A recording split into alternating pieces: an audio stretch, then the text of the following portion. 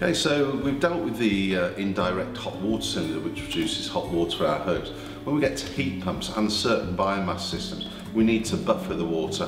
What we want to do is prevent the units cycling on and off. That's when they tend to use the most energy and it's also a slight nuisance factor to them keep coming on and shutting down.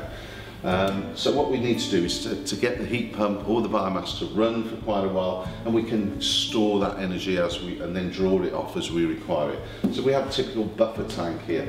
So for our air to water heat pump and we have a small buffer tank, which is this unit, and then for our ground source, uh, which is larger kilowatts output than the to water, we're storing our water in this buffer tank. And then from this buffer tank, as we need central heating to the underfloor, or maybe radiators upstairs, for both of these buffer tanks, we draw it off. As the temperature drops, the heat pump will then cut in. So it basically stops heat pumps and biomass systems from cycling on and off.